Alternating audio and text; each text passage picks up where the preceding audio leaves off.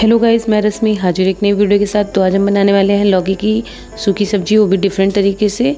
तो पूरी वीडियो देखने के लिए बने रहना होगा। खाना खजाना भाई रश्मि के साथ। तो चलिए बनाते हैं।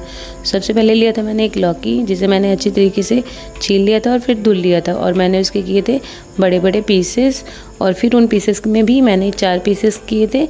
और फिर मैंने इसे लंबा लंबा कट कर लिया था, जैसा कि आप वीडियो में देख सकते हैं।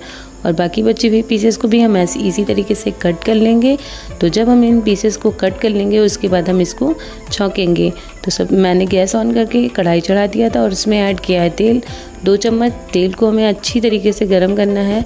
जब तेल में छोटे छोटे से बबल्स बनने लगे, तब समझ लीजिए हमारा तेल अच्छी तरीके से गर्म हो गया है। तो जब हमारा तेल अच्छी तरीके से गर्म हो जाएगा, तब हम इसमें ऐड करेंगे थोड़ी सी हींग और हींग के बाद हम ऐड करेंगे आधा चम्मच जीरा और 10 से 12 करी पत्ता के पत्ते और फिर दो मिर्ची जिसे मैंने 20 से डिवाइड कर दिया था। अब हम इन सबको थोड़ी देर तक भूनेंगे।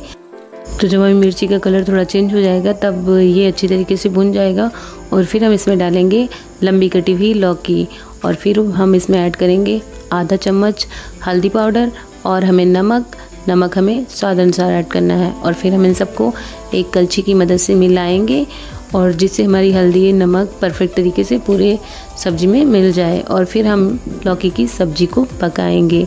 तो हमें गैस की फ्लेम रखना है मीडियम और हमें मीडियम फ्लेम पे ही लौकी को पकाना है।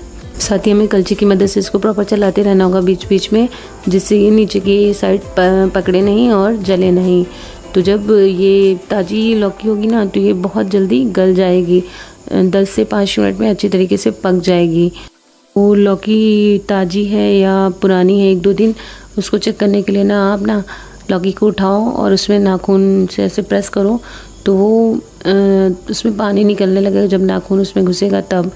और जो लौकी पुरानी हो जाती है ना तो स्किन जो होती है ना, कड़ी हो जाती है। तो ये आप ध्यान रखोगे ना तो आपको ताज़ी लौकी मिल जाएगी ईज़िली नहीं तो लोग बासी ही पकड़ा देते हैं। तो अब हो गया थोड़ा सा फ़ायदे वाली बात। तो अब हम ध्यान दे देते हैं थोड़ी सी सब्ज़ी पे। तो सब्ज़ी हमारी आधी पक चुकी है। और जैसा कि आप देख सकते हैं, जो लौकी में थोड़ा बहुत पानी था, वो पानी की मात्रा भी कम हो चुकी है। और ये ना, अब तेल जो है दिखाई देने लगा है अच्छी तरीके से। बस हमें पाँच मिनट और पकाना है। बस हम गैस की फ्लेम को कर देंगे, इसके बाद ऑफ़ और फिर ये खाने के लिए हो जाएगी तैयार। तो अगर आपको ये रेसिपी पसंद आई मेरी ना सिंपल सी लौकी की सब्ज़ी की तो मेरे चैनल को सब्सक्राइब कीजिएगा लाइक कीजिएगा शेयर कीजिएगा। और thank you for watching my video मिलते हैं नेक्स्ट वीडियो में। तब तक के लिए बाय बाय